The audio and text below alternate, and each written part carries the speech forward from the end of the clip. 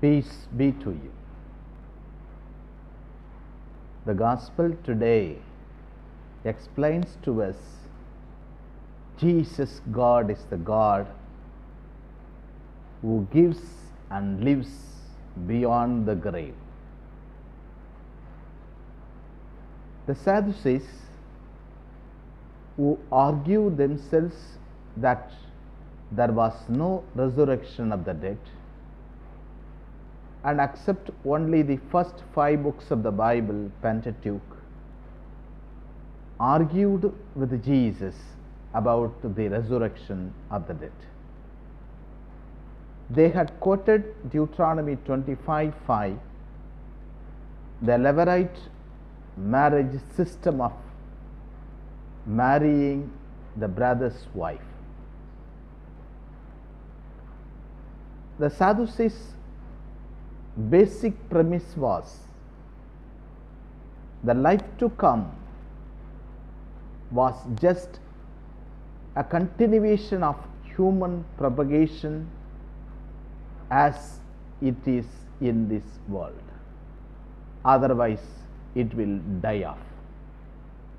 This was the basic premise with which the Sadducees were arguing about the resurrection of the dead with Jesus Christ. Jesus bolsters their argument with a quote from their own believable books, Exodus. He quoted Exodus 3 2 and 5, in which the Bible calls the God God of Abraham, God of Isaac, God of Jacob.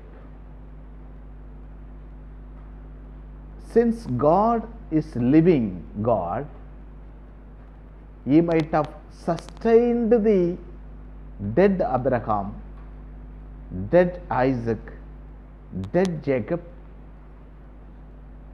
in life by resurrecting them. So, anyone who dies and lives with God is resurrected, given a new life, a new form of life. So, it is immortality of a human being. A human being transits to a, another way of life, another form of life that is the resurrection given by God Himself. So, for God, all are alive to Him. All those who die with faith, they will be given life to live with God.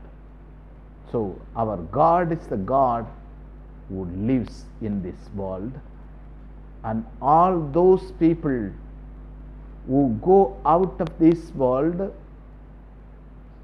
with the faith in Jesus Christ about the resurrection of the dead, they will also be resurrected and they will live with God.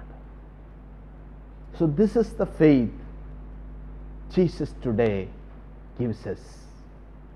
So, we are expected to believe the words of Jesus that all those who die with a belief in Jesus Christ, they will be resurrected and they will live with God.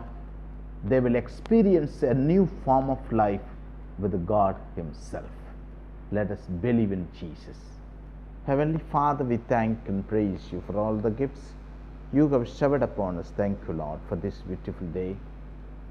Thank you, Lord, for giving us the clarification and the truth about the life after the death. And you have given us the beautiful explanation that God, who is living, have resurrected all those who believe in Him. Thank you, Lord, for this beautiful faith revelation so that we may live with you forever and ever. We ask this through Christ our Lord. Amen.